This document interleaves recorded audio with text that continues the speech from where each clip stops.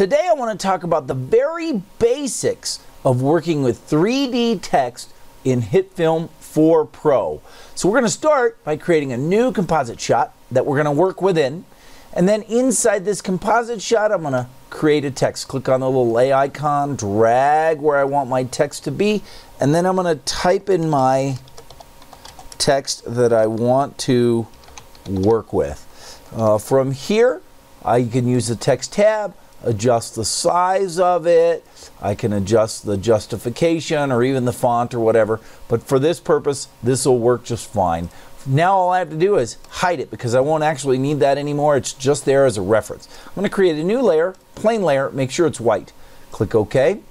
And then I'm going to add two effects in HitFilm 4 Pro. The first one is a set matte effect. I'm going to drag that onto the new plane. And then I'm also going to add a 3D extrusion layer only effect. Okay, now on the set matte, I'm going to source layer, new text, and there it is.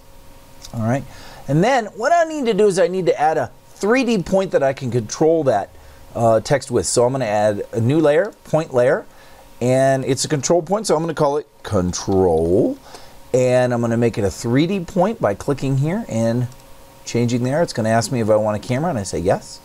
Okay, so now what I'm going to do is under the new plane, under 3D extrusion, position, transform from, and I'm going to transform from that control point. Okay. Now, if I want to mess around with other things, I sure can. Like the depth, for example, I'm going to adjust that to 50 pixels just to make it a little deeper so you can see it. But again, it's just all details from there. You just sort of play with it. So under the control point, transform, you have the X, Y, and Z rotation points. And if I start messing around, say with the Y, for example, then you can see that it's very easy to control that. Resetting.